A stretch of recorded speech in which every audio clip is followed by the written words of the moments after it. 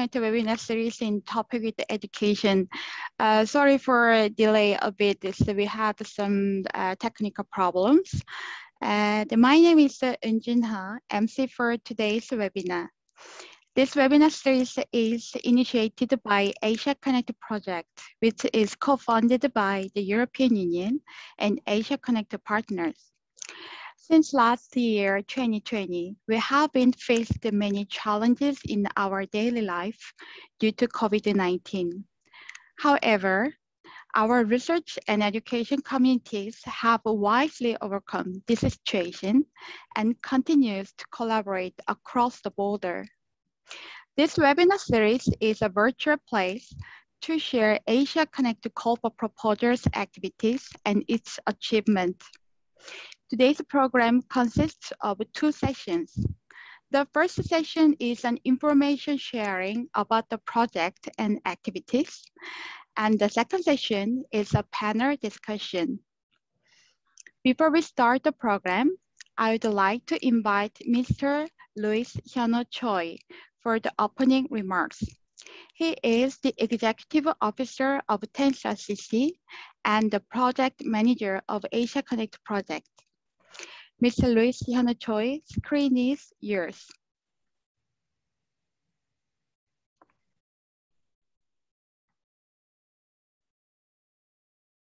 Uh, ladies and gentlemen, uh, distinguished participants, and good afternoon in Asia, and good morning in Europe. Uh, my name is Louis Hyunho Choi, uh, Executive Officer of the TEIN* Cooperation Center. First of all, I'd like to uh, thank you for attending uh, today's Asia Connect webinar meeting. Uh, it, it is a series meeting then. So uh, before, uh, uh, before today's webinar meeting then, so how are you with the corona pandemic situation? Just terrible. So although the, the pandemic situation is improving worldwide, uh, but we are still facing many uh, difficulties and challenges due to the new mutations, such as uh, these days the Omicron, we call, is very uh, serious situation today.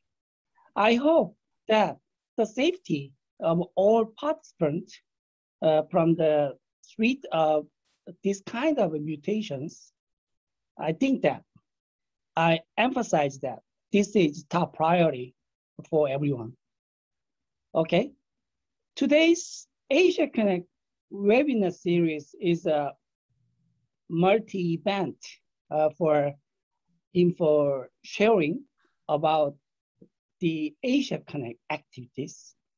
Asia Connect uh, already selected uh, 67 programs via our corporate proposal program in Asia Connect project and more than 6,000 programs uh, people, 6,000 people in this uh, region benef benefited from these programs.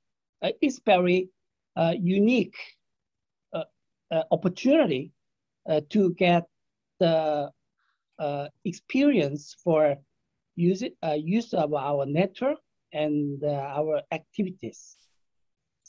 To share uh, this successful result, uh, we prepared this webinar series. Uh, as the first round today, we picked the topic about education.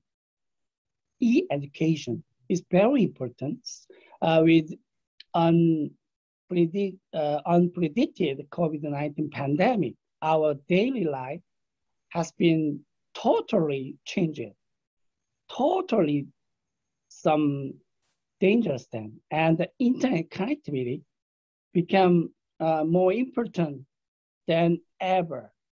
It's very important, especially internet connectivity, such as our TEIN network, has contributed a lot in educational part is very top priority of usage of our uh, sustainable connectivity is a network. uh, it is a real TEIN network usage. Asia Connect also continues the trainings and uh, research collaborations uh, via online education. Just to record in the e-learning, e-education is, is the similar meaning that. And today, uh, through difficult programs, we will share how they work together using TEIN network and what are achievements that is very important point. Uh, for today's webinar, uh, the uh, four experts are invited here. Uh, very thank you. Thank you very much. Uh, I'd like to express uh, my gratitude to uh, Douglas Hare from New Zealand, the moderator of this today's webinar. Thank you. And Wan Tat Chee, the professor of the University of Sains, Malaysia. Uh, thank you very much too. And uh, Tawi, Muhammad Tawi, the, the CEO of the BdREN of Bangladesh. So thank you very much too. And uh, finally, so our uh, Francis Wee Gusong is the professor of Nanyang Technology University, Singapore. And uh, especially thank you very much, the chair of our TEIN* CC Advisory Board is very important person too. And so I hope uh, this event uh, will share our community's creative idea and uh, make a foundation uh, for better Asia Connect project. And then we can get more information and we can get more valuable idea to make beyond Asia Connect. Uh, we, we, we, can, we can do it. We have to uh, make the next uh, page of the Asia Connect 2, just to recall the Asia Connected 2, uh, just so we can make that all together. We need, uh, we need uh, get more valuable information from us. Everyone, be careful of COVID-19 pandemic still going on and uh, stay healthy. Uh, thank you very much and uh, enjoy today. Thank you very much. Thank you, Mr. Louis. He stressed the importance of uh, a RNE network on education in this uh, COVID-19 pandemic and roles of our communities using RNE network now, let's open the first session. I would like to invite Mr. Douglas Hare, the session moderator of this webinar. He was a former deputy chair of Asia Connect Steering Committee and the governor of New Zealand. Mr. Douglas, the screen is yours. Okay, thank you for the introduction and uh, welcome to you also, Louis. Thank you. Nice to see you again also. uh, so good afternoon to everybody. Uh, good evening to people and good morning, depending on where you are in the world, uh, to all of you across the region. Uh, today's webinar, as Louis, nice to see you again also. Uh, so good afternoon to everybody. good evening to people and good morning, depending on where you are in the world uh, to all of you across the region. Uh, today's webinar, as Louis has said, is the first in a series that we'll be running over the next few months, covering different topics. Uh, the aim is to give the wider NREN community more information about the projects. Uh, as Louis said, there's been about 67 projects that have been funded. And these webinars will, over time, provide a cross-section of information uh, for people to look at. So we have three speakers today, each of whom have been the PI for their particular project. Uh, the format today is that each of the speakers will talk for 25 minutes or so, no longer than 25 minutes. And uh, then uh, at the end, there will be a panel session for the last um, 25 or 30 minutes, and then we'll wrap things up. So our first speaker today is Professor Wan Tat Chee um, from University Sains Malaysia. Uh, Professor Wan Tat Chee received his bachelor's and master's degree from the University of Miami in Florida and his PhD from his university in Malaysia. He's the associate professor with the School of Computer Sciences and the deputy director for the IP version 6 Center. He will be speaking on the very important topic of uh, network defense, which everybody who's working in the NREN area will be very interested in. So Professor Tat Chee Wan, the floor is yours. Yes, yes, we can. Okay, great. Yes. Thank you. Sorry about the delay. So on behalf of the uh, University of Science Malaysia, I'd like to welcome you to this webinar. And uh, as a brief introduction, this project is called Distributed and Cloud-Based Network Defense System for NRENs. And we have actually a co-PI for this project from BUET, which is uh, Prof. Muhammad Saiful Islam. And this project was actually started in June of eight, uh, 2018 and uh, supposed to end in May 2020, although uh, unfortunately due to COVID, uh, it was extended and we finally uh, completed the project in end of February 2021.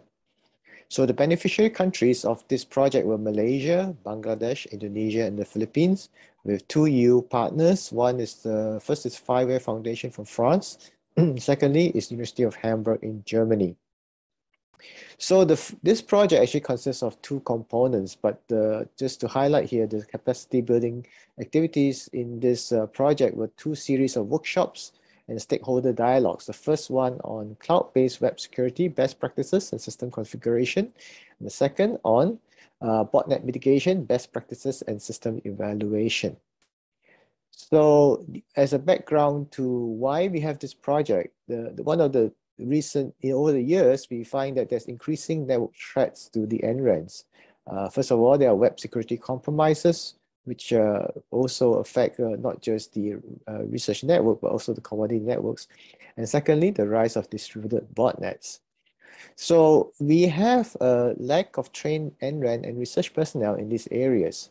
So we believe that the capacity building workshops conducted in beneficiary countries is important and vital for increasing the ability of NREN research and research personnel in dealing with such threats. And secondly, we also find that there are lack of services and tools for dealing with emerging threats, especially in terms of uh, distributed botnets, which uh, is one of the focus of the uh, project uh, in terms of developing and evaluating tools for addressing these issues. So the first uh, part of the uh, tool that we are focusing on is cloud-based security solutions. And secondly is tools for uh, addressing distributed botnets. And as mentioned earlier, participating, participating countries are listed as below. So on the slide here, we notice that there is a trend, increasing trend of uh, distributed botnets due to the increased use of Internet of Things devices. And these devices, once they're deployed, tend to be unpatched and uh, do not have uh, software updates applied to them. So over time, their vulnerability in their code has make it very susceptible to being infected with botnets. So as I mentioned at the beginning, we have two series of capacity building workshops. And also secondly, the, the second component of this project is to uh, come up with distributed and cloud-based network defense system.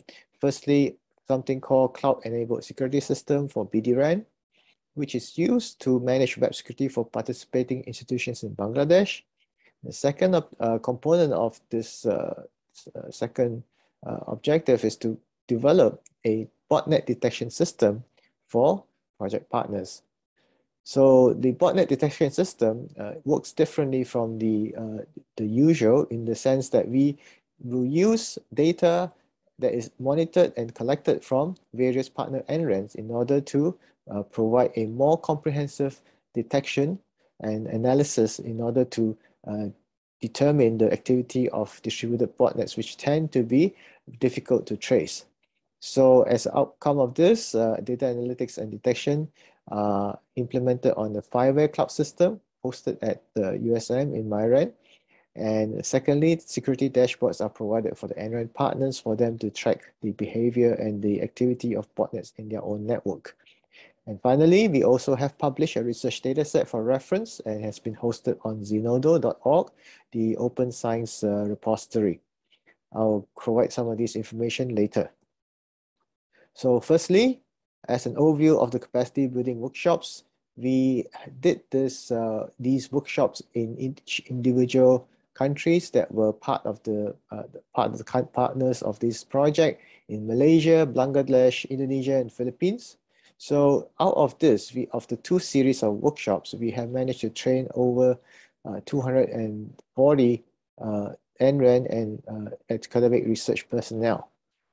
And we believe that this approach of having uh, workshops in individual countries uh, is much more uh, cost effective as well as being able to reach additional uh, participants who may have difficulty acquiring funding to attend overseas uh, training. Uh, that was, of course, before COVID. So uh, in terms, of, just to highlight, uh, for the Philippines, the original workshop was planned for March of 2020. But however, due to the outbreak of uh, COVID uh, restrictions and lockdowns, it was delayed and eventually was conducted successfully uh, through uh, online webinar format uh, in November.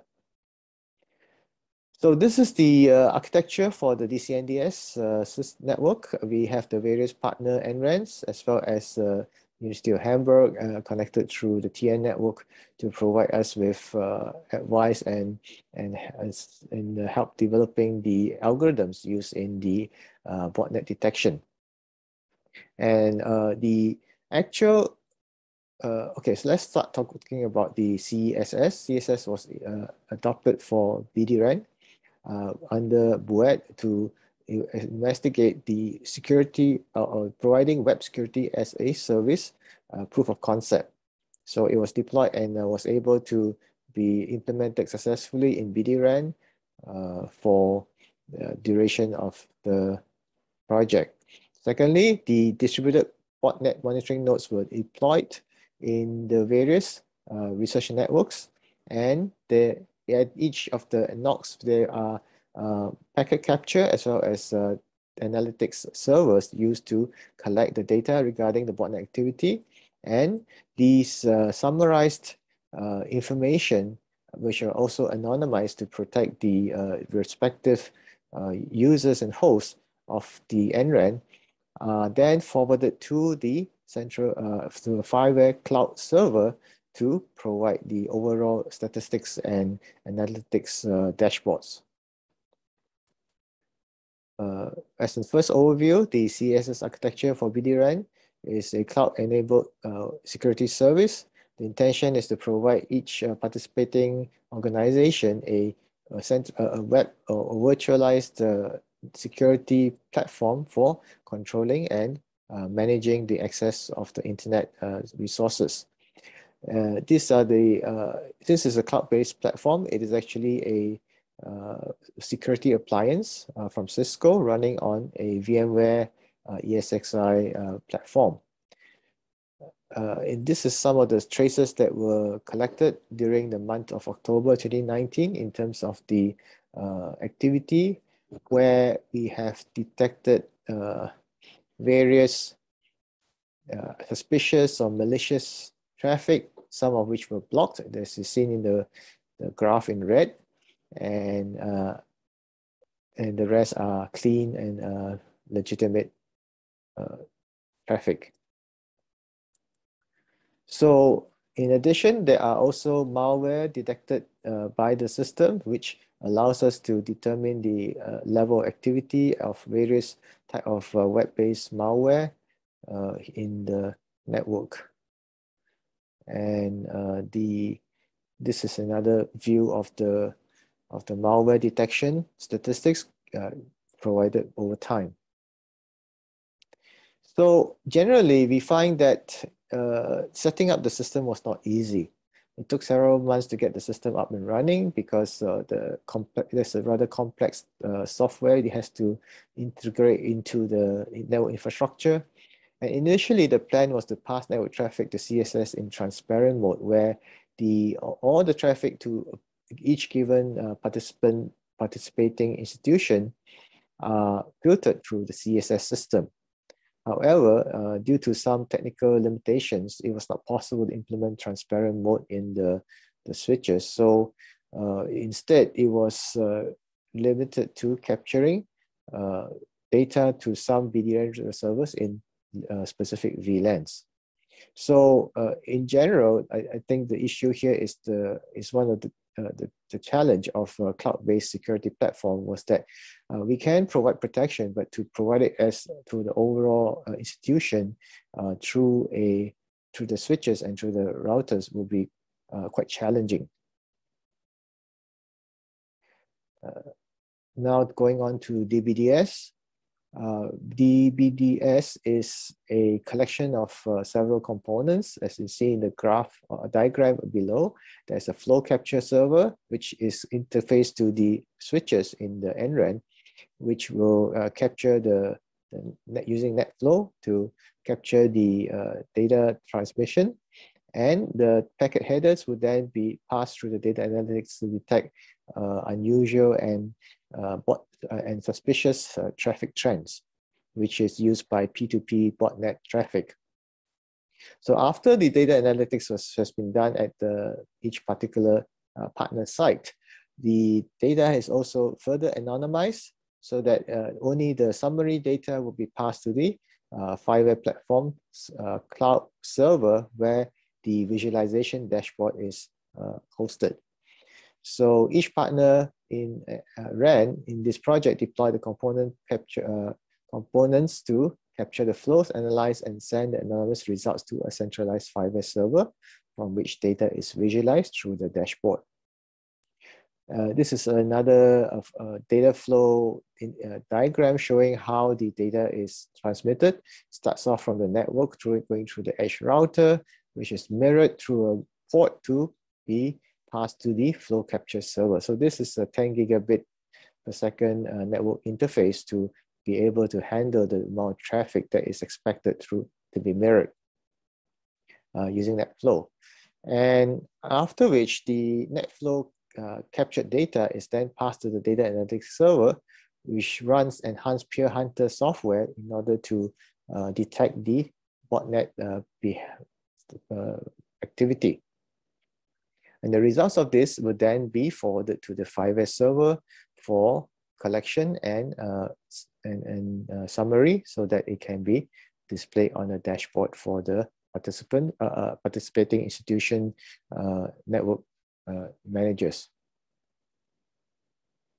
So this is a quick overview of the type of dashboard statistics that we can observe.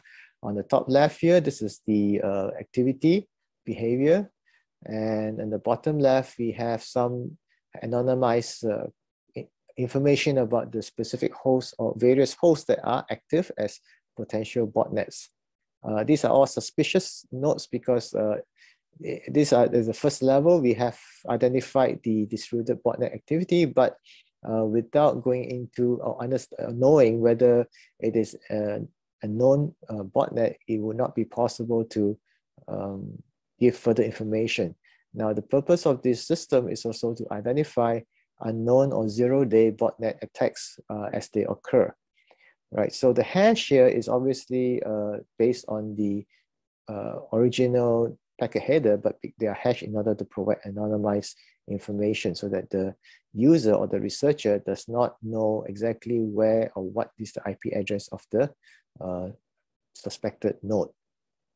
On the top right, we have a, another graph view of the, of the data and the bottom uh, right is a heat map uh, showing some of the uh, most recent uh, suspected uh, botnet uh, nodes in as a hashed identifier. Right, so this is a quick summary of the deployment status of DBDS all the hardware and software has been set up in the four participating partner sites. However, only two sites are actively generating and forwarding data. So we have tried to troubleshoot the data collection and uh, forwarding process at BdREN and Preginet, but however, uh, the process is rather difficult, which I'll explain uh, later in the summary. And so uh, that's why in the uh, previous uh, slide, we only see the statistics for two sites uh, shown on that diagram. Uh, in summary, uh, we have successfully deployed uh, the components, hardware and software, all partner locations. They were tested and were seen to be operational. However, the forwarding of the data through the, the EN network to the various, to the 5 cluster was not uh, working properly. We still do not uh, have not had the opportunity to troubleshoot it in full uh, due to the various challenges. Uh, but in any case, we would like to acknowledge uh, all the effort and, uh, and contribution by IST, University of Brawijaya, Bangladesh University of Engineering and Technology or BUET, University of Hamburg and Fire Foundation for their support and efforts to make this system functional. In addition, of course, uh, USM has their uh, in, uh, staff and personnel who help set up the system as well. So out of this project, we managed to collect uh, some uh, botnet uh, data, traffic data, and it has been published on Zenodo. The traffic uh, covers a span of one month from June 19 to July 19 of 2021, and uh, it's available for use by other researchers if uh, you are interested in bot distributed botnet the activity and their behavior. So some of the lessons learned uh, we believe that the in-country capacity building is able to attract more local participants. Of course, this is pre-COVID, so uh, today the focus may be, or the approach may be slightly different, but a lot of this kind of training requires some hands-on component, which is uh, still rather difficult for uh, remote participants to be able to um, take on and, and uh, achieve their, the, the same level of understanding and and uh, discussion among the participants as compared to a in-person training. So the advantage of having an in-country capacity building is that many participants who do not have the opportunity to attend centralized training in another country due to funding issues now are much are able to uh, receive their training. Uh, because of course uh, within the country, usually the institutions are more willing to fund travel in country than to fund travel outside of their own country uh, due to the cost. Secondly, the onset of COVID lockdowns affected the last workshop scheduled for the Philippines. And so we, but we managed to successfully conduct it in November 2020 as a webinar format. But it is not easy to conduct hands-on training as I mentioned. So I, I don't know if there's a good solution for this. But uh, that is one of the challenges for going forward. And lastly, the extended COVID lockdowns affected the development of DBDS, and it's difficult to continue software development as no campus access. So the campuses, at least in Malaysia, were uh, closed to students and staff. So uh, we were not able to access our labs or the equipment easily. And a lot of times to coordinate the access requires uh, different staff from different departments to be present. So uh, it was a challenge for us, right? But we did manage to uh, finally finish up the system and it was deployed to partners in February of 2021. And it's been operational since March of 2021. And as mentioned earlier, the local packet capture and first level analytics is running properly. However, the anonymized, anonymized data feed to FIWARE is only working from Malaysia and Indonesia sites. Uh, then, secondly, the deployment and testing of packet capture nodes in partner engineering sites need in-person attention. Uh, so uh, when during, especially during the peak of the lockdown, uh, it was difficult to arrange for a suitable time on both ends because uh, for the as USM as the develop, uh, software development uh, focus, we need to be present and to at least to be online to be able to communicate with the the staff that is doing the uh, testing in the NREN itself. And uh, usually also we found that coordination and communication is very slow due to weak offsite internet access for many partners. So the NREN may be working and functional at the, uh, at the connected locations, but most of the time during the lockdown, uh, people are asked to return to their homes or wherever they, they may be, but not on campus. And contacting people in that environment is quite a challenge. Okay, so uh, to summarize, training materials and research data sets, they are both available online for uh, interested parties. You can go through to dcnds.asia. That's the main website for this project. You can access the training session videos for the each uh, respective uh, workshop. So there are uh, altogether eight different training uh, workshops. I mean, four of each series. So, um, well, I guess you can have a spot for choice in which workshop to, uh, to participate or to review. And the presentation slides also are available. And if you're interested in the research data set for the botnet activity traces, it's available from Zenodo. You can use the link I gave here from the dcnds.asia website to access it. Otherwise, uh, you can also search for it on Zenodo, though I think it may not be so uh, easy to find because there's a lot of uh, different data sets on, on, that system. So using this link, you can uh, connect to that Zenodo um, page uh, quickly. Right, so finally, the contact information, myself and uh, Professor Muhammad Saiful Islam, who is the other co-PI for BUET, who is uh, in, involved with the CSS uh, component as well as the training uh, of, uh, of conducting of the training uh, together with us and uh, EU partners. Okay, thank you. Excellent, and thank you for that. And you finished five minutes early, which must be the first in the history of anybody doing a presentation, so excellent. thank you very much. We will go back to uh, your talk at the end when we have the panel session, so thank you very much indeed.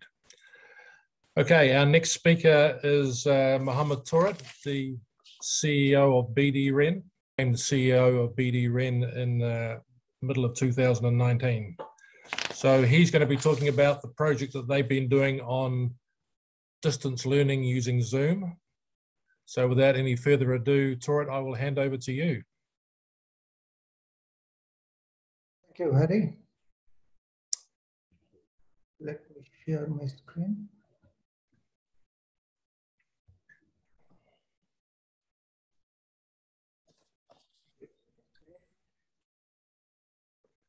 You have 25 minutes also.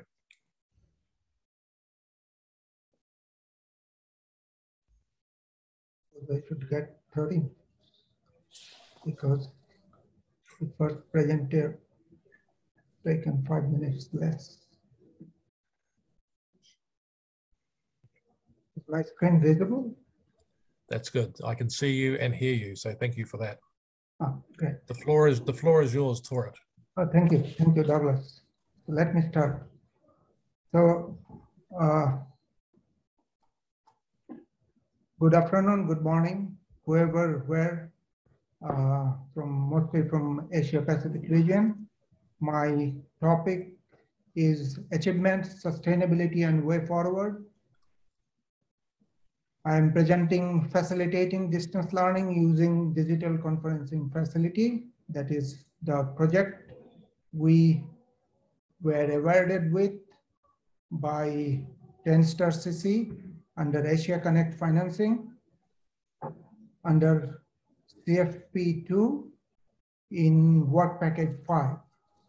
So before starting my presentation, a note of apologies for the audience because the project became so successful and it was so widely acclaimed that I had to present it in many different forums.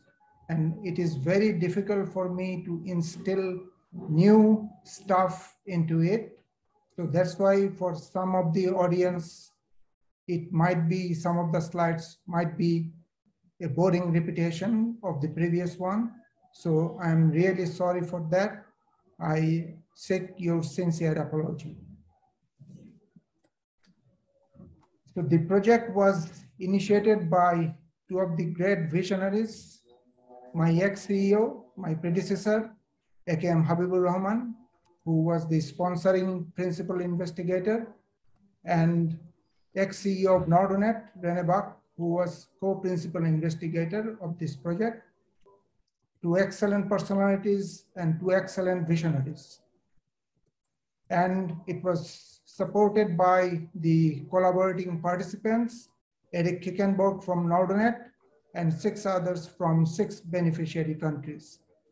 The role of each and every person was equally important for the grand success of this project. I salute all of them. Then this is the project team, me as the leader, as principal investigator, Mr. Jahidul Islam and Ibrahim Khandekar was my core staff. The project deliverables, a few of the deliverables, I have tried to present it here, but believe me, all those deliverables could be achieved and many more could be achieved. So as I proceed through my presentation, probably all these things will be clear to you. In brief, the project, if we look at the horizontal side, the project was extended two times. First in April 2020, the initial project period was from September 2018 to April 2020. But due to wide success of the project, it was first extended till December 2020, then it was extended again second times till June 2021.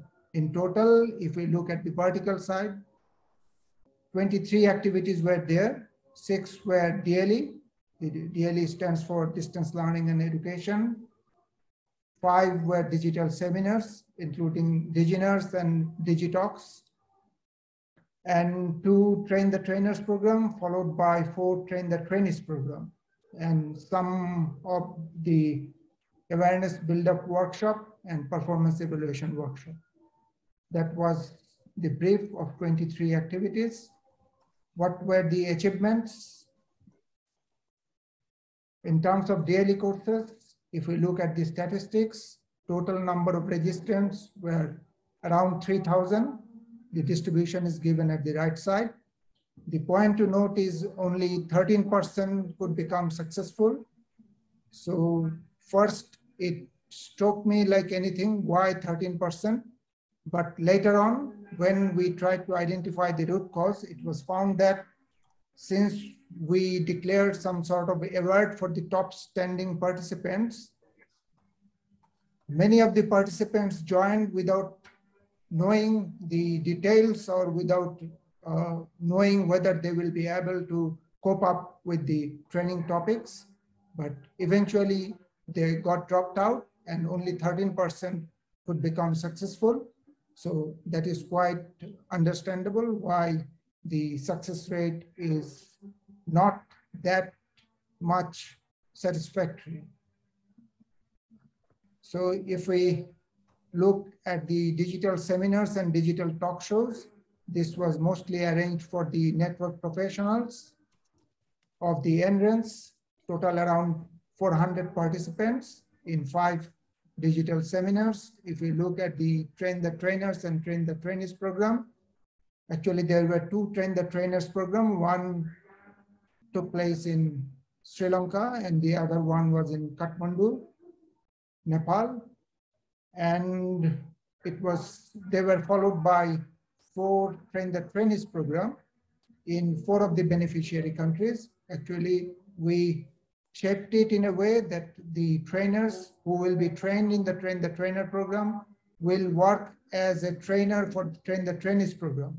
So it was kind of chain effect and it worked like anything. So in aggregate, total female percentage of participants were 15%, male were 85%.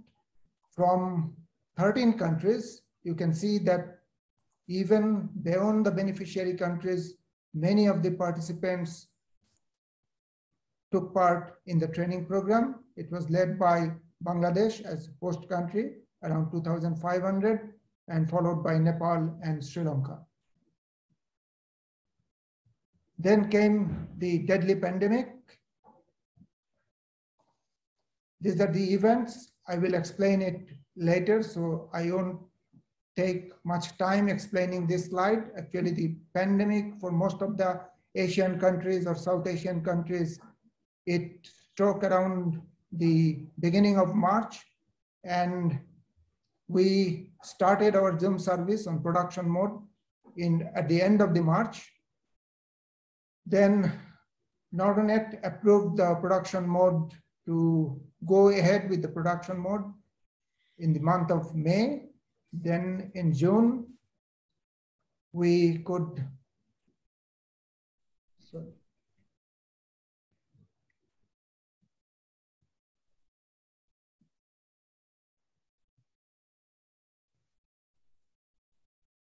In June, we could get some additional licenses from NORDUnet. Then project was extended for the second time in December 2020. Then in July, that means at the end of the expiry of the project, we got the commitment, we got the assurance from NORDUnet that they are not going to withdraw the Zoom licenses and they will keep on continuing the service for the period till Zoom come up with any of their solution which will be uh, which will be accommodatable for the beneficiary countries in terms of cost. And then the final allocation of additional licenses came from NORDUnet in August 2021. Then the disastrous impact, what were the impacts? All institutions got closed, internet and research traffic plummeted, and NREN services were threatened. You can see from this diagram that both BdREN and LEARN internet traffic got plummeted.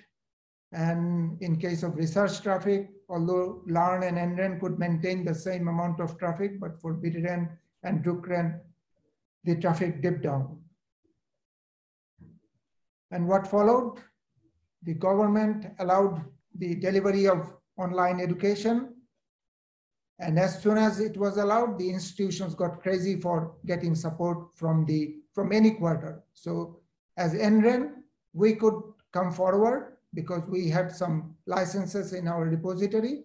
We could immediately jump into the scene by providing Zoom services, by offering Zoom services to our honorable members.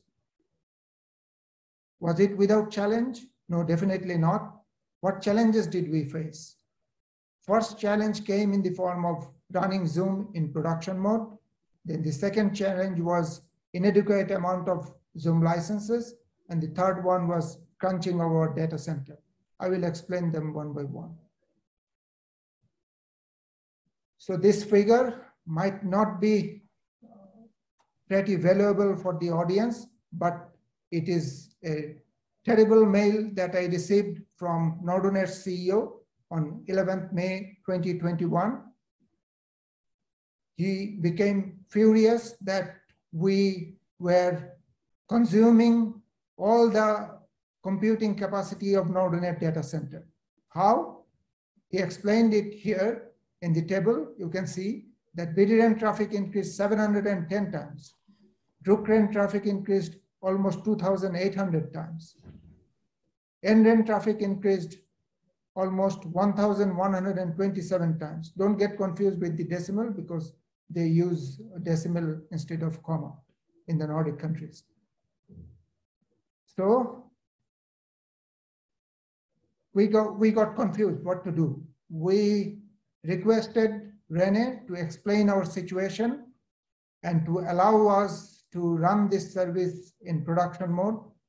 And what followed? we requested him to meet in a meeting and we met on 13th May, actually two days after he raised the issue. And in that meeting, we could convince Rene that actually we are not consuming any of their data center capacity. The diagram that he was referring in here was the diagram of the traffic flow, not the traffic that is flowing towards the NORDUnet data center. He was very much convinced with our explanation and he said sorry to us and he told us that he will let us continue the service in production mode. And not only that, he was so satisfied that he increased the number of licenses from previously allocated 7,500 to almost 2.5 times, 20,000. And in that allocation, LEARN got most of the benefit because their licensing capacity increased almost 15 times from 500 to 7,500. But was the allocation enough? Not at least for BDREN, because BDREN had around 20,000 faculty members to support, but we had only allocation of 7,500 licenses. So then big invention came from the BDREN software team. What was that? In normal Zoom traditional uses, what happens? You have to allocate each faculty member with, an account, with an account. But that faculty member is not engaged in a meeting all the time. So what happens?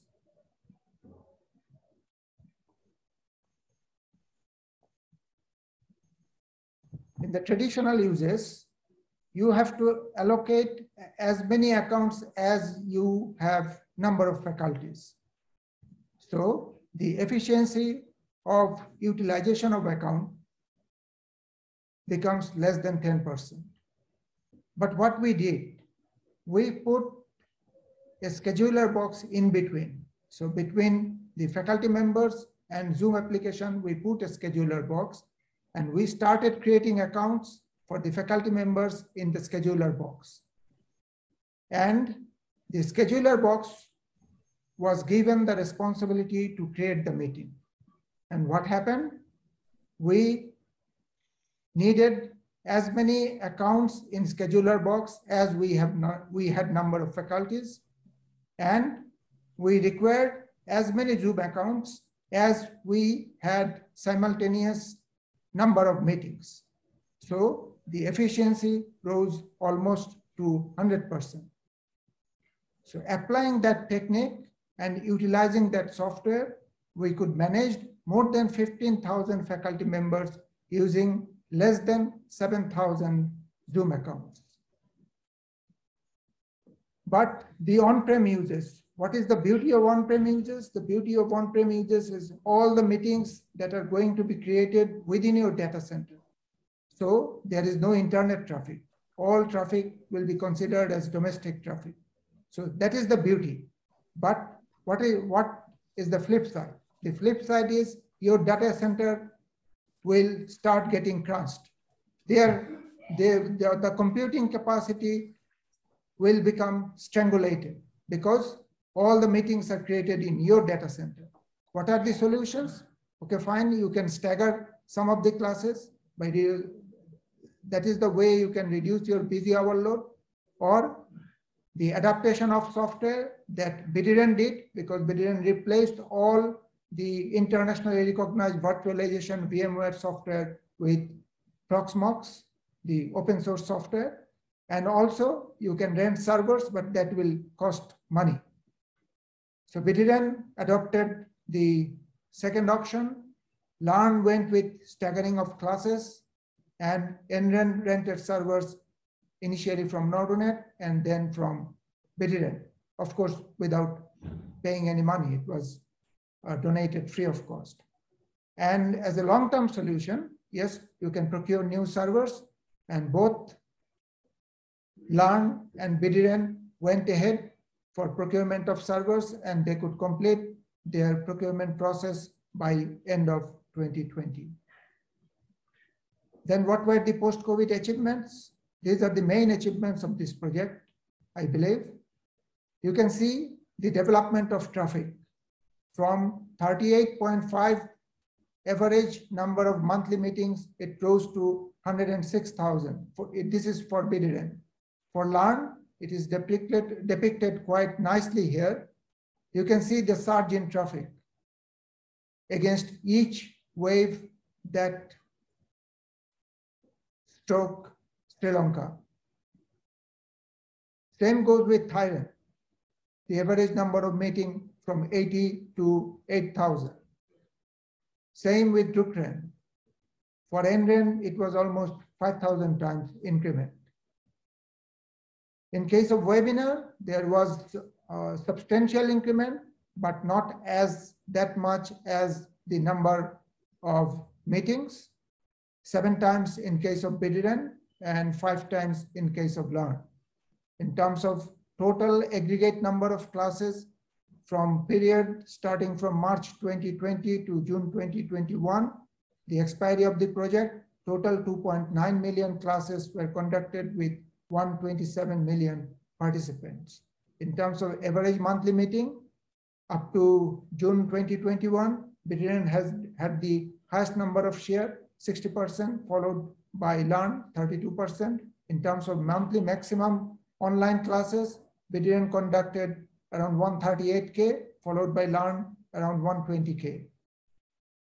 Now about collaboration, probably that is the biggest benefit this project could give to the beneficiary countries. The first and foremost, the collaboration and support from NORDUnet. They not only allocated the committed number of licenses as per project proposal, they increased the number of licenses in two phases and the final increment became almost five to six times than their initial commitment in the project proposal. Not only that, they allowed us to continue the Zoom licensing even after expiry of the project. So that was a big support and collaboration from NORDUnet. Thanks to NORDUnet and thanks to Rene Buch. Then comes the sharing of information. LEARN taught us how to configure on-prem mode of licensing. And that actually allowed us to run the services in production mode. Then the sharing of resources. We shared our hardware data center resources probably that happened for the first time in the NREN industry. We shared our data center resources with NEPLREN and also we shared our scheduler software with LEARN when they needed more licenses. Exchange of information when we encounter any types of faults. Before Zoom call center response, we discuss with each other and we resolve the problem.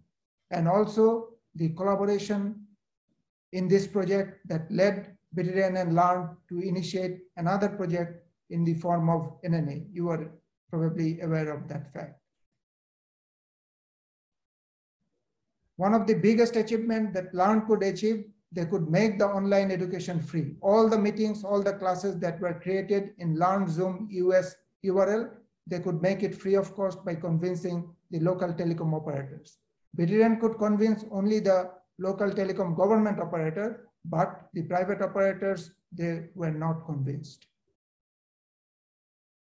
Zoom as a federated service, LEARN could configure Zoom application as a federated service. BdREN could configure it, but they couldn't implement it because of some of the mixes in the delivery of services. About the financing, total 196K was the financing, 153K was BdREN's part, and 42K was TEIN*CC's part that involved mostly with the procurement issue. And you can see the initial allocation. The initial allocation in travel cost was 45,000 so due to pandemic, the travel cost declined and we allocated that budget to procure some of the equipments in the form of Zoom room. So we could make sure that nothing in the project activities, none of the project activities could get affected by the pandemic. In terms of awareness, we developed an exclusive portal for this project. This is still available. And this is a full-fledged web portal in which all the presentation slides and even the videos of the presentations are available. So anybody can go through the, those videos and they can educate themselves. We developed an LMS portal in the second phase and the last two courses were conducted using this LMS portal. In each and every APAN meeting, we had our sessions with the sponsorship of NORDUnet. In APAN 50, we had a panel discussion. In APAN 51, we had a talk show on post-COVID internet development and accessibility challenges. We used to provide award to the top standing candidates in the DLE courses. Some of the local workshops were organized to educate federated identity services, and in Sri Lanka and also in Bangladesh. I presented one keynote paper in BDNOG, Bangladesh Network Operators Group in 2020. The acknowledgement that we received worldwide, TEIN*CC case study was published in APAN 48 in Malaysia. Then an article boosting education and research during COVID-19 written by Roshan and myself was placed in the ISOC block. NORDUnet created a story based on the success of BdREN. Also, NORDUnet created a story in their blog site based on the success of LEARN. And we prepared a newsletter highlighting this project. It is available in our website. And LEARN created a separate blog site highlighting the achievements of this project. Now, what is the way forward? We were very much worried about the sustainability of the project, although NORDUnet is providing all sort of supports. As a follow-up project, we have proposed one project, BdREN, DrukREN, LEARN, and NREN combinedly on the development of e-learning platform for South Asian countries. You have to understand the most difficult obstacle that we faced in running the project in on-prem mode was the crunching of our data center. So in this project, we have proposed to develop distributed data center in Bangladesh, Sri Lanka, Nepal, and Bhutan. And also considering the NNA report as it reported Laos and Cambodia as struggling NRENs, we have tried to accommodate them with this project with allocation of 30,000 Zoom licenses for a period of next two years by NORDUnet. Not only that, we have included internship program for the women students and also grooming program for women engineers. All will be sponsored by NORDUnet. If we look at the financing of the project, total financing is 238K. This is without the cost of NORDUnet licenses. If you take the cost, if you consider the cost, it will go up to 3 million. So I didn't consider that part. TEIN*CC's part will be 149K and the beneficiary country Bangladesh, Sri Lanka, and Nepal will pay 22,500 and rest 66K will be shared by NORDUnet. Yes, there were some failures because it is part of the success. Increased utilization of TEIN. In my first slide, I, show, I showed you the deliverables. It was anticipated, but practically it didn't happen. So I'm uh, still investigating the root cause. Probably in my next project, when Laos and Cambodian participants will start using the distributed data center, probably we can show more utilization of the train traffic and BdREN's failure in convincing the private telecom operators that will be treated as a failure, should be treated because 98% of our telecom users are related are using the services of private operators. One final note, me on behalf of the project, I will propose for a Hall of Fame award or some kind of similar award for this illustrious personality who helped us in making the project a success, not only making the project a success, who actually helped us in stamping our footprint in the industry. Previously, we used to hanker after our member institutions. Now the member institutions have started running after us. They are frequently requesting us how they can help us. So this has only been possible by the help and cooperation extended by this great phenomenal personality. Also, NORDUnet should be given a letter of acknowledgement from Asi@Connect. That is our proposal from behalf, on behalf of the project. Acknowledgement, Roshan, my good friend, he has helped me in preparing every bits and pieces of this presentation. And also, last but not the least, Mr. Ibrahim, who has helped me with all the facts and figures. Thank you. Thank you, everybody, for your patient hearing. Perfect timing, Tawrit. You are right on time, so thank you very much for that. That's I'm, great. I'm sure that when you applied for the funding originally from Asi@Connect prior to the pandemic even being known about, you, you would never have imagined that the, the program that you were applying for would turn into such a major project. So you were definitely a man in the right place at the right time. Yeah, probably God is the right man in the right place because it is not my credit. It is God, God's credit that they He has come up with these blessings for me. Very and good. also, also thanks to Rene because without support from NORDUnet, it was absurd. Of course. Okay, well, thank you again, Tawrit. That was a great presentation and uh, very timely indeed. So our final talk today is from our good friend, Professor Francis Lee at uh, Nanyang Technical University. He's very well known to everybody everywhere in the NREN community. Uh, so I won't take too much time to introduce his many uh, academic qualifications, uh, but Professor Lee is going to talk about large data transfers, which again has been something that has really grown in the last uh, couple of years with COVID in particular. So, Francis, without any further ado, I'll hand over to you. The floor is yours. Thanks, Douglas, um, and hi to all the friends and uh, colleagues out there. Let me share my screen, and um, I hope you all can can see that. Right? Very good. Okay. Um, I'm going to talk about large data transfer infrastructure and training for Asi@Connect. Um, so let me go to the next slide, which gives you an overview of the whole project, the title. Uh, Professor Lawrence Wong and, and myself um, uh, is the PI and co-PI of this project. It started back in 2020, and our intent was to build an infrastructure a data transfer node infrastructure in the region. Okay, build a pool of communities, technical personnel uh, who could manage them.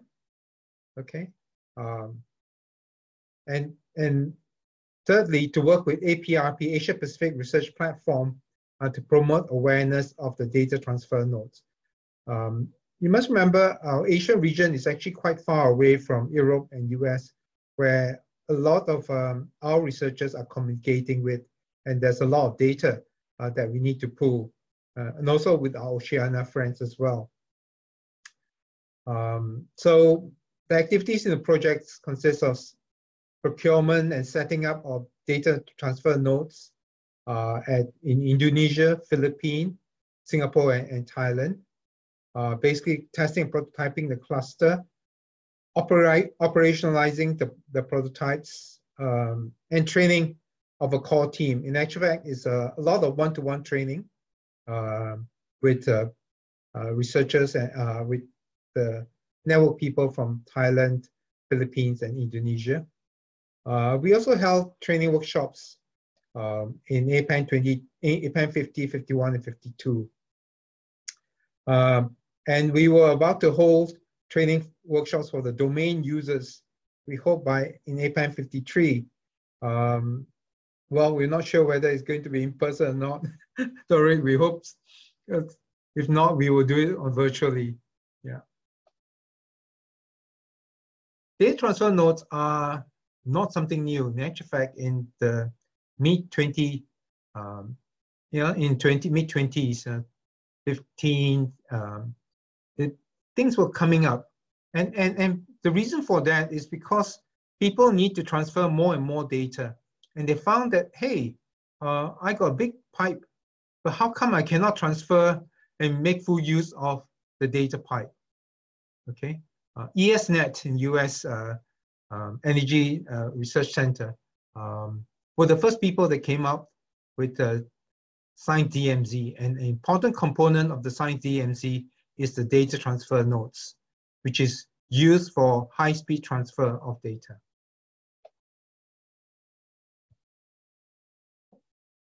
Larry Smarr took it out from ESNet and says, I think the universities and uh, needs it as well, and, and, the research community needs it. And um, So in 2015, he, he applied for uh, funding from National Science Foundation and, and got the fund, uh, funding to uh, interconnect universities in California. It's called Big Data Freeway for Research. Uh, it's, it's, Pacific Rim platform, but the, the, the title of it is a Big Data Freeway for Research.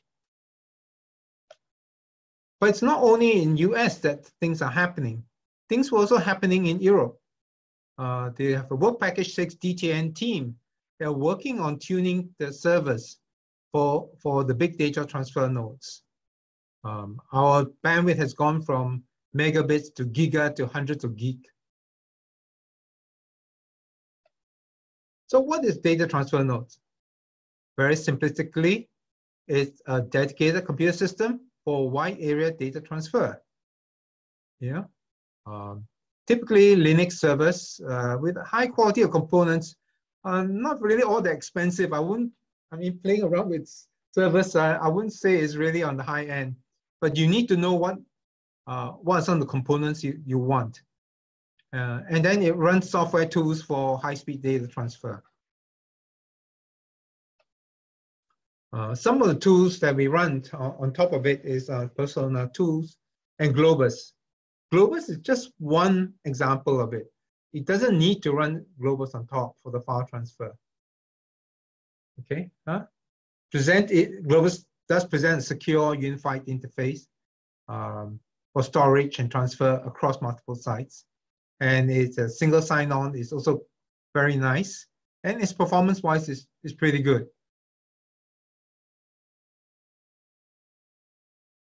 So in our project, our deployment of DTN nodes uh, across the countries in, in our region. You look at our, our Asi@Connect map, it, it gives me great pride when I look at this because we started off with only a few links and now we have linked up to about 18 countries. Uh, that's really amazing and, and that's due to the hard work of TEIN*CC um, funding it, but also the the different communities in the NRENs in different countries coming forward uh, and, and making that work. That provides the connectivity. Let me show you this map um, down here. We've deployed DTN nodes in uh, Bangkok, Manila, Bandung, and Singapore.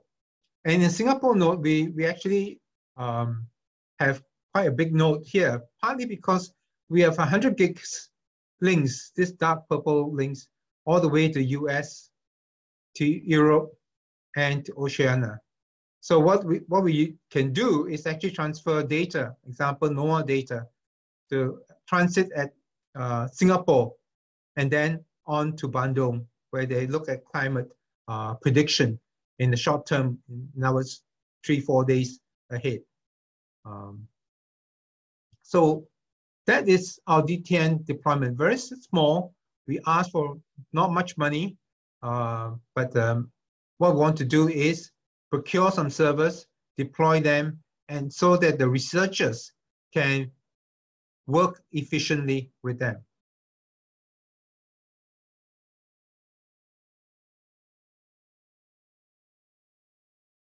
Here's the specs of the server that we procure not very high end. It's only got 12 cores. Okay, huh? You got RAM, a very pretty good amount of RAM. Um, the OS took up quite a bit, but not much. It's about half a tera. Um, NVMe, where we need uh, fast transit, we will use NVMe. Uh, then after that is a uh, storage, and then basically hard disk drive. We got only a few tera terabytes of data, uh, data storage in there. Uh, an important part is basically our NIC, our NIC cards. Uh, we did not go for 100 gig. Uh, we felt that although our pipes to US, Europe, and Oceania is 100 gig, uh, we don't need a 100 gig uh, NIC card, you know, because once you go 100 gig, it's your software, your your hard disk drives and all those things comes into play. You may not even reach the 100 gig transfer rate. And, and here we got two, two ports, okay? And we got a rate controller inside it as well. Tuning, um, we did tuning on TCP, UDP, still use the same.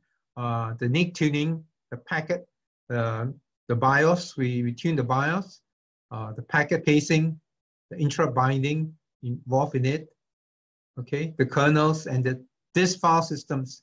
If you want to go at 100 gig, you really, really need to play around with the file systems uh, a lot. Um, since ours is 10 gig, we are quite okay with that. We don't need to uh, play around too much with the file systems. Here are some results. Um, a transfer between uh, Singapore and US, ESNet Sunnyvale. Um, if you don't tune it, you take about 12 um, minutes, or if you tune it, you take about five. So it's about two to two to three times the speed, you know, after you tune it. Uh, but if you really tune it well, like what we did here, um, because I was taking a team of students um, participating in the competition, and they need needed to transfer about 30 gig to 50 gig because they are singularity containers um, from Singapore all the way to Canada. We made use of the DTN nodes to speed up our transfers. Previously, it was if you don't use our DTN nodes, it was hundreds of megabits per second.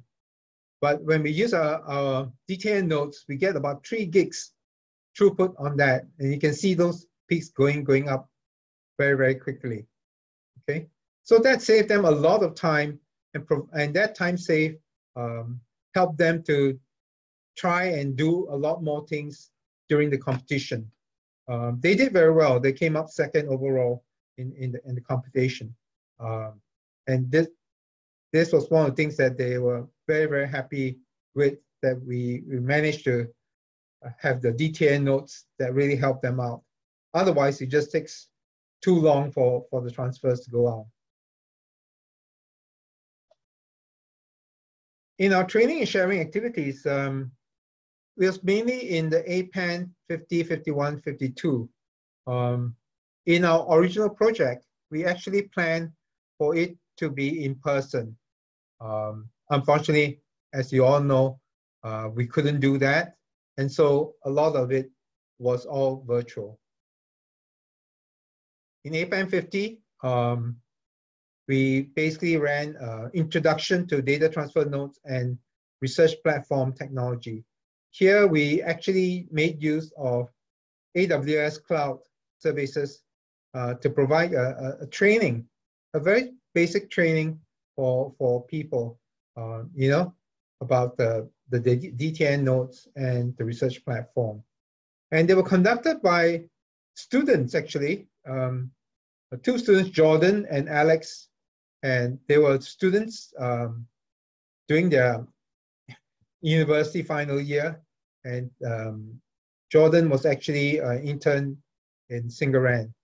But they were very fast and, and very, very good. And we communicated with John Hicks from uh, Internet 2 um, to pick up the, the skills very, very quickly. And Simon Green, um, who has been playing around with DTN for, for a long, long time. In APAN 51, we felt that it was time that we break it up and have two focus. One was setting up and running Globus DTN and perfSONAR nodes. So that became a very focused uh, session by itself. And the other session was building a computational platform with Kubernetes. Kubernetes is something that has been adopted as uh, by the research platforms in, in US. And, and so it, it, it's very, very good. And we had um, uh, um, sharing session here uh, from NAPAT as well, from uh. And we have about 59 attendants, attendees for this.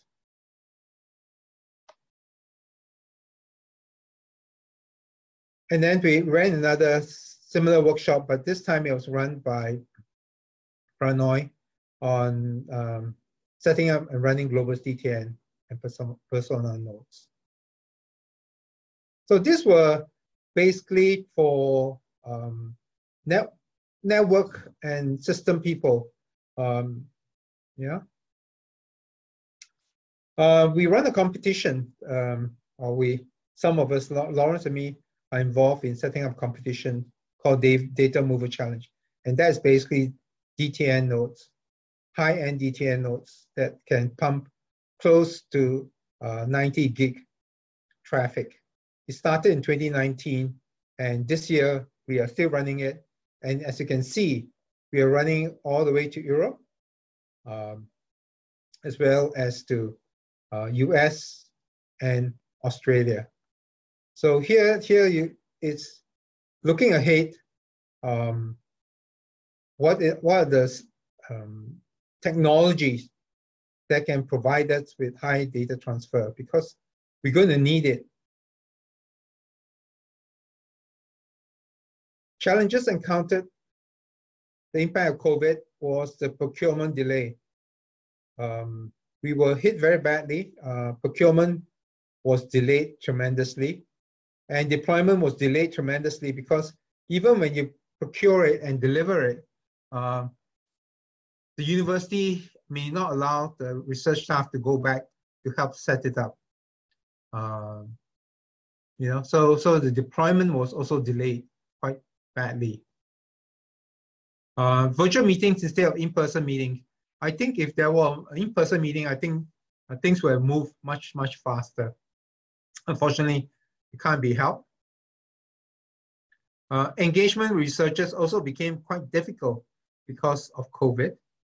Um, we also, after some discussion with some researchers, we found that there was a need for other tools as well, like file sender uh, for sending large files.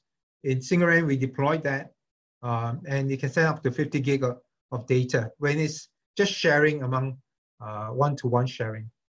And SingAREN is uh, starting to rebuild the database mirror where we can copy maybe um, bioinformatic data all the way to down to Singapore, and then people from around the region can copy out from Singapore. What's next? Um, well, Basuki has been the engaging session with the medical working group in Indonesia in, in November. I, I think uh, the few of us are moving out to engage the researchers uh, a lot, lot more. Charapont um, and us were talking to NICT and Professor Ken T. Murata uh, on possibility of deploying Himawari 8 cache, which is basically a weather um, or satellite images. And from the satellite images, we can actually see how uh, the clouds are forming. And, and it, it, was very, very interesting. And you can have it on your phone as well. Uh, you know, uh, itself uh, is engaging uh, researchers, asking them what are the database that you need to copy down regularly uh, and use by your community, and we'll help to copy them down uh, into our database mirror service. Uh, climate prediction, example of that was in Indonesia, uh, where we have short-term uh, weather prediction using NOAA data. Um,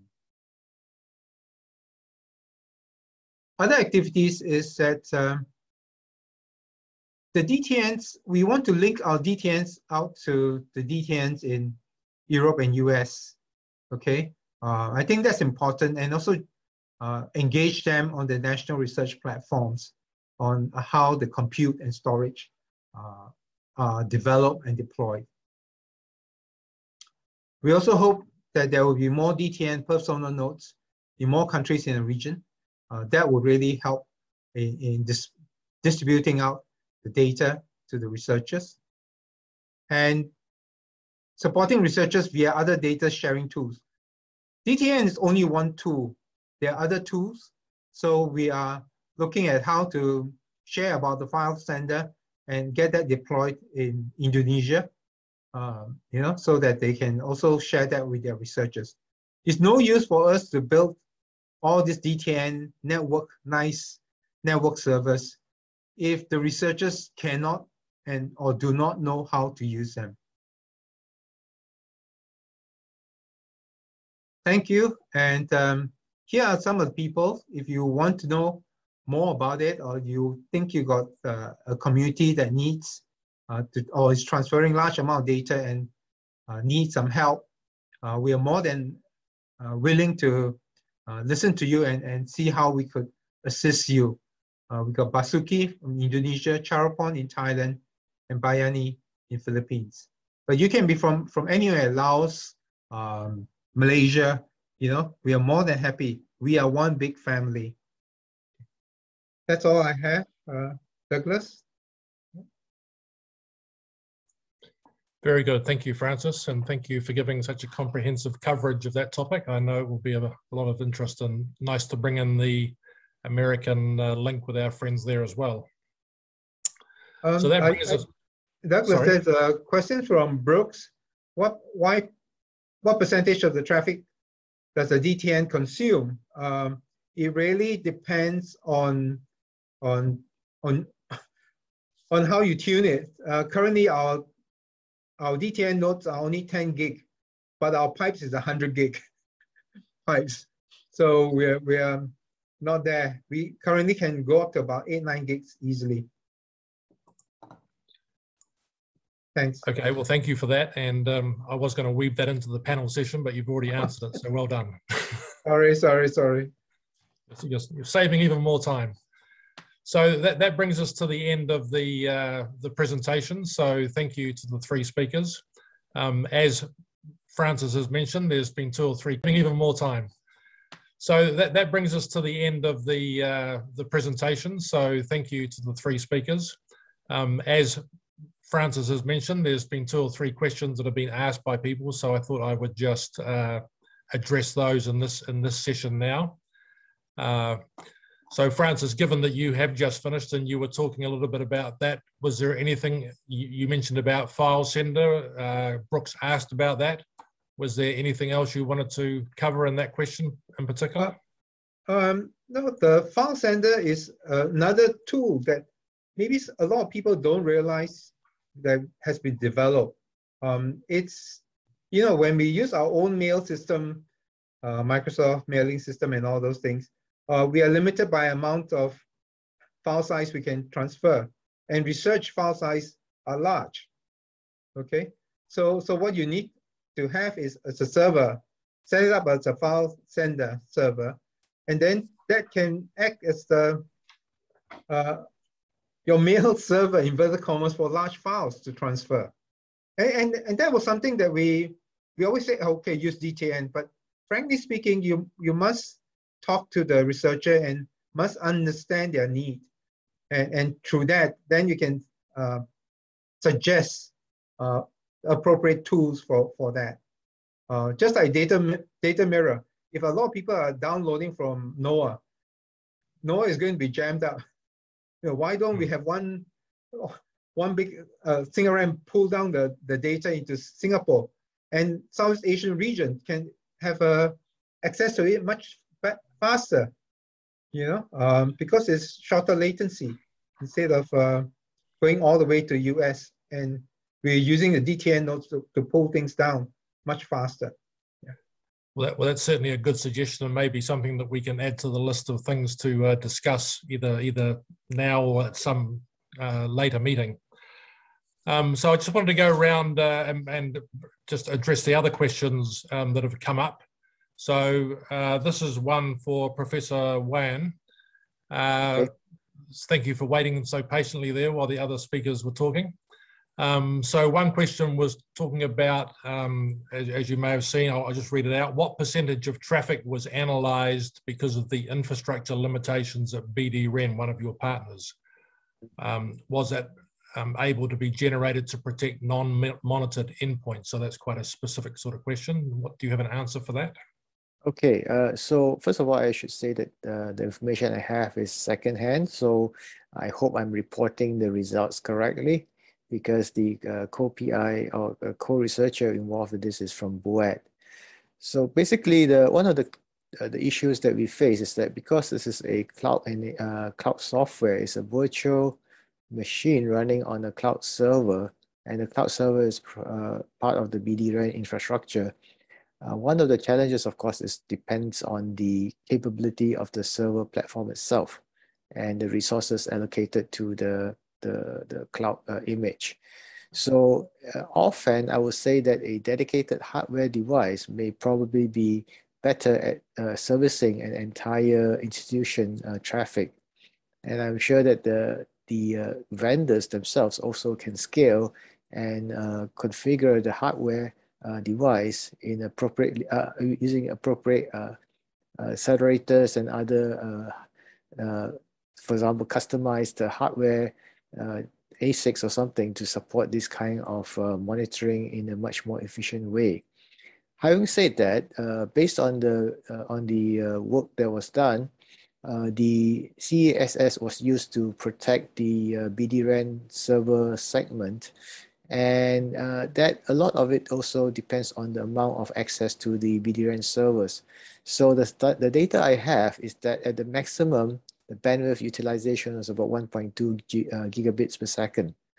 Uh, it doesn't sound like much, but this is the peak uh, bandwidth because uh, a lot depends on how much traffic is actually um, uh, directed towards the servers in, in that segment. And the number of transactions, that the maximum number of transactions was about 730 transactions a second, which uh, equals to about 50 million transactions a day. And at the uh, maximum number of connections were about 33,000 connections uh, simultaneously. So I, I don't know if that helps in answering your question. Oh, well, I'm sure I'm sure Brooke will ask, ask another one if it's if it's not enough. Um, yeah, I'd, I'd like to ask you a more general question, if I could. Um, uh, the, the work that you have been doing around botnets and security in general. I mean, you, you've been so you've been working with the Asi@Connect partners in this particular project. Yes. But obviously, everybody across the Asi@Connect region and of course the rest of the world is facing challenges from this area. And the area that you're working in is very specific. Okay you know, Francis is moving data, everybody can understand that. Um, Tawrit is having Zoom sessions, everybody can understand that at a general level. Yours is yours is uh, a much newer, more sometimes more difficult thing to understand. Mm-hmm. How the work that you have been doing through this project, how can that be applied to NRENs generally across the region? Is that something that you have been able to take from your specific work to generalize to other people or other organizations as well? All right, thank you, uh, Douglas. Well, uh, first of all, we are still uh, developing the software. So one of the things that's happening is that we are seeking funding to uh, continue the project and developing the uh, analytics and uh, detection algorithms to be much more responsive and be able to be much more accurate. And Part of this also would be then to expand the number of participating institutions or NRENs to uh, contribute in terms of uh, data collection and um, and doing the analytics. Because the, the important uh, challenge about distributed botnets is that there's no centralized uh, botnet server. So it means that you cannot shut down the botnet by just, you know, uh, black holing it or, or even taking over the hardware or assets of that botnet, uh, they will spring up and continue operating from elsewhere. So the only thing you can do is to uh, determine the sources of the, uh, the, the host or the, or the infected host, and then for each NREN to take action to isolate them and then um, clean them uh, from the infections and so on. So that is uh, obviously an ongoing challenge because uh, once we have uh, known botnets, then uh, there will be unknown or zero-day uh, attacks that will be developed beyond that. So uh, in that sense, uh, what we would look for is partners who are interested in participating in this effort. And the only challenge is that we need hardware because you need to have a packet capture server, an analytics server, uh, as well as access to a mirror port on the on the switch, right? So that's the first thing. And secondly, I think uh, in order to uh, facilitate data exchange, uh, so far, currently in the project, we have signed NDAs with all the partners for data sharing. So uh, without that, we are not sure how much we can actually um, know, exchange the data in a way that doesn't violate any national or um, uh, uh, data protection laws. That's one of the challenges that we face. So uh, for that reason, the data that we do uh, send to the uh, file, the FIWARE uh, security dashboard is anonymized, right? Because we, we would not want to be responsible for any data that is that can identify specific users in within the particular country. Yeah, so yeah, we, it's an ongoing project. Uh, the PI who is going to continue this project is uh, one member of my team in uh, USM. So if you're interested, you can uh, send me an email. The contact information was given earlier. I guess the uh, slides will probably be shared with the uh, attendees as well. So there are some further details about the operation of the DBDS, which I did not present, but is part of this presentation slides. So any further questions, you're welcome to email me and I'll link you with the the researcher who can answer best answer these questions. Thank you. Very good. Thank you for that comprehensive answer. So I've got a couple of questions for you, Tawrit. So one um, also from Brooke, he was asking about the use of, you would, obviously this is to do with your licensing challenges and the massive increase that you had. So he was asking about um, why use Zoom rather than possibly other uh, products that have maybe a better better licensing model like Jitsi Meet or EduMeet? What's the what's the background to that question? That's a great question. Probably that question was asked in APAN 50 by Basuki, I can remember. Uh, actually, we tried with Jitsi Meet and we tried with Big Blue Button. Uh, Asif suggested me, Asif of PERN suggested me to use Big Blue Button. So we tried with those two software, but there are certain limitations using those softwares. The first thing is the bandwidth efficiency, okay? The Zoom is highly bandwidth efficient. In our country, the bandwidth consumption matters because the network quality at the last mile is not that good. And the more bandwidth is consumed, it entails more cost. So you have to be very cautious.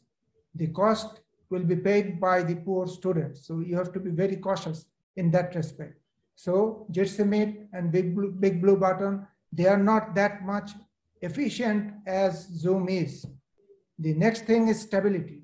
Okay, Jitsi Meet is nice if you want to do a meeting within your corporation or if you want to conduct four or five meetings a day, that is nice. But when you are organizing thousands of meetings, if they don't become stable, your NOC will be bombarded with calls, questions, and emails. So the nicest thing is that we didn't face any single email or any single phone call in our NOC to attend. Hardly we used to receive any call that the Zoom is not working, okay? And sometimes with Jitsi Meet, the user needs to reset, needs to reconnect. He wants to share his screen, he cannot. Then he reconnects, then he can. Or his audio is not available. So he intentionally, he has to disconnect and then again he needs to reconnect. So those are the issues. And some of the facilities like Zoom have, like break, breakout box, breakout room. So breakout room is an excellent facility for teachers to conduct different uh, types of tutorial classes. So those are the issues which made us uh, actually stick to Zoom. We couldn't right away shift from Zoom to other software applications because they had many limitations. Okay, that, that's a good answer. So I, I, have another question for you, which is a question from me. Um, I know that you spent 20 years or more working in the telecommunications industry in Bangladesh. So you were working in the uh, in that uh, sector before you got involved in the world of research networks. Uh, so obviously you're a very experienced man in that area.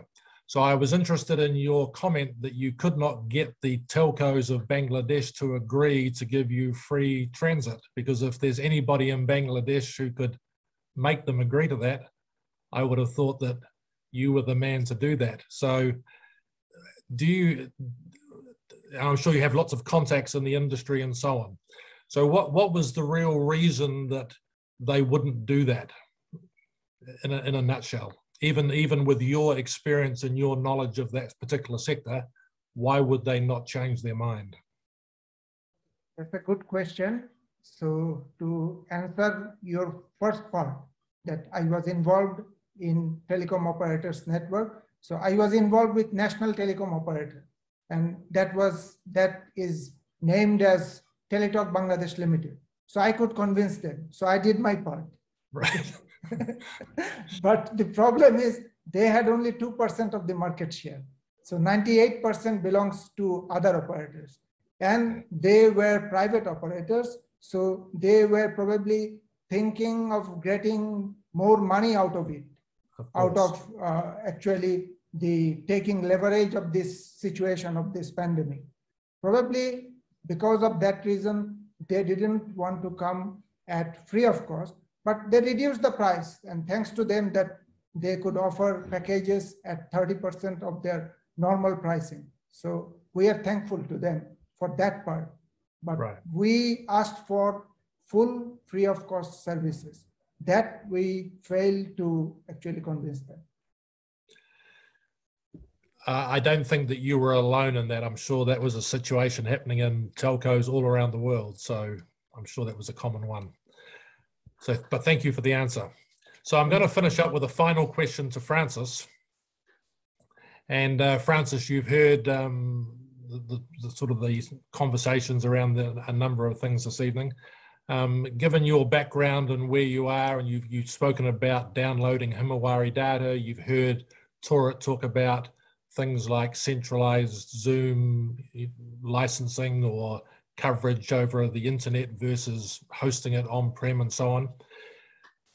Um, is there anything that you would like to just take a couple of minutes to talk about uh, that maybe for TEIN*CC and the wider community, what, what infrastructure do we need in the next, say, three to five years here in the Asia Pacific region that will enable the next leap forward for us as a community? That's that's a big question. you've got you've got two minutes. But okay. if I gave you if I gave you an hour, you would you would take it. But I'm going to give you two minutes so that you can think about what's important. Actually, um, TEIN*CC has done extremely well in terms of building the connectivity. I think the next phase is actually building the service, the service infrastructure, the Zoom service infrastructure, the DTN service infrastructure, to enable people to do their job easier and, and, and take research one level up. Um, connectivity is done. It's almost a done deal. Uh, you know, uh, you know, but I have to be careful about it. I say almost because there are countries that need our help as well with the connectivity. But the next level of, of next step forward is service, to provide the service to the greater community. Not just the network, it's the researchers that uses the network. That we must always remember.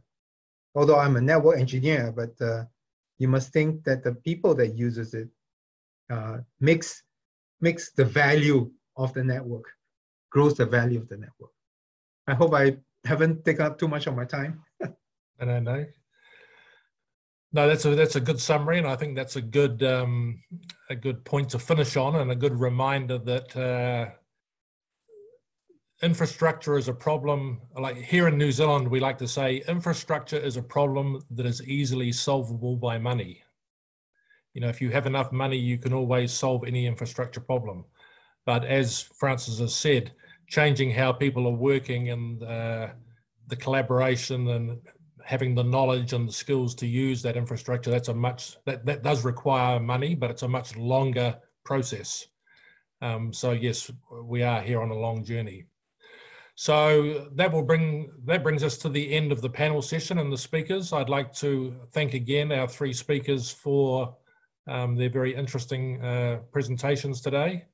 Uh, thank you, Louis, for your remarks at the start.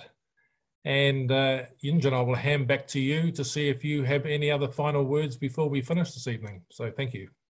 Okay, thank you very much, Mr. Douglas, and also all speakers, Professor Wan Tat Chee, Dr. Tawrit, and Professor uh, Francis Lee.